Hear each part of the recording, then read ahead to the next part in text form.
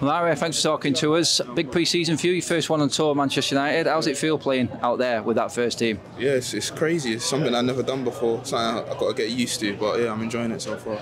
Yeah. What's the message been from Ten Hag to you in terms of your minutes on the pitch? This has there been any private message of what he's got, what he's got in picture for you this season coming up? Um, nothing so far. I just got to keep working hard um, and hopefully get more opportunities. Um, but yeah, I'm enjoying it so far.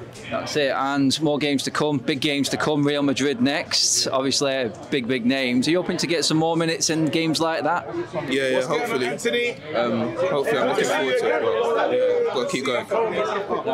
And obviously, for you, the main aim this season personally, first team football, getting in that match day squad, uh, or there's an option for a loan if it comes about. Are you interested in that also? Uh, yeah, I'm not sure the plan at the minute, um, but I'll just go with it. But I'm looking forward to, to what's to come. Get well hopefully, soon, yeah. Ahmed. Mara, thanks very much for talking to us, mate. Enjoy the rest of the tour, buddy.